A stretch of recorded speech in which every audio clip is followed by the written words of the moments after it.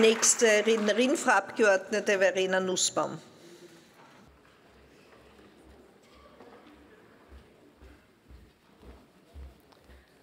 Danke, Frau Präsidentin. Sehr geehrtes Hohes Haus, liebe Zuseherinnen und Zuseher.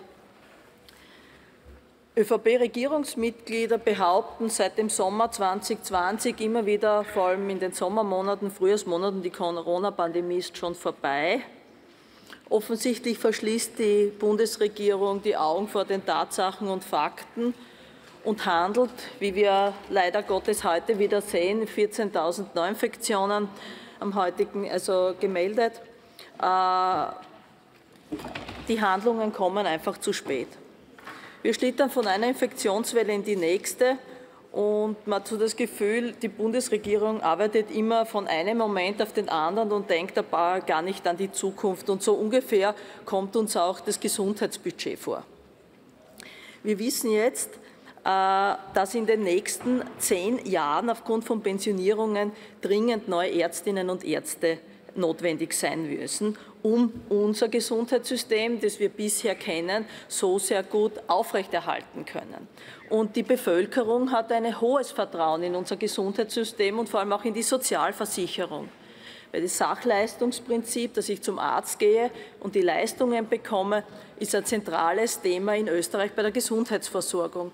Jetzt ist es natürlich schon interessant, dass sich die ÖVP daraus manövrieren will bezüglich Leistungsharmonisierungen, dass sagen, na, na, die Zwei-Klassen-Medizin wollten wir eh nie abschaffen, die wollen wir jetzt noch einzementieren, so wie die Abgeordnete Schwarz das gemeint hat, weil nur die ÖGK-Versicherten sollen eine einheitliche Leistung kriegen, aber die Beamten und die Selbstständigen, na, die können schon bessere Leistungen bekommen.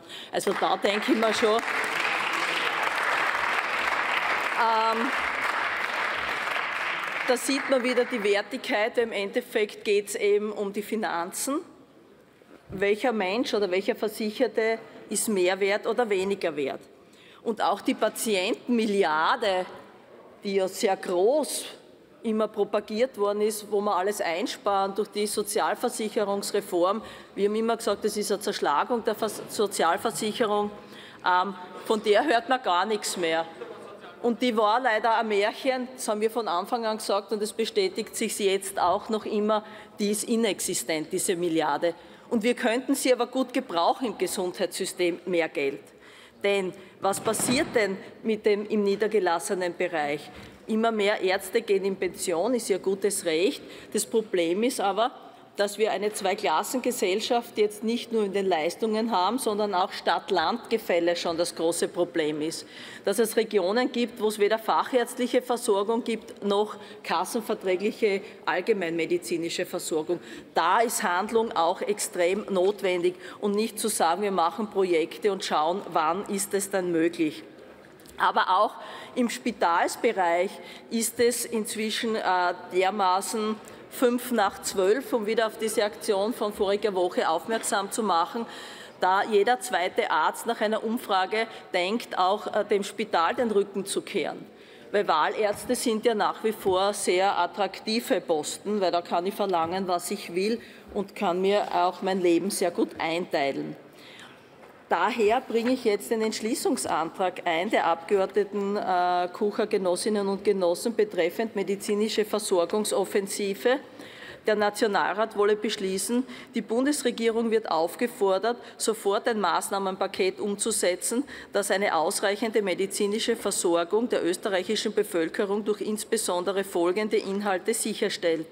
Verdoppelung der Medizinstudienplätze in Österreich, die daran geknüpft werden, nach Abschluss der Ausbildung im öffentlichen Gesundheitsbereich und oder im Sachleistungsbereich, sprich Kassenvertragsstelle, für eine bestimmte Zeit tätig zu sein. Ausstattung der Universitäten mit den dafür erforderlichen Budgets, Kassenverträge für alle Ärztinnen, die einen Vertrag wollen, Aufwertung der Hausärztinnen, weniger Belastung von Spitalsärztinnen, zum Beispiel durch Delegierung von Tätigkeiten an das Gesundheitspersonal und Schaffung besserer Arbeitsbedingungen. Dankeschön.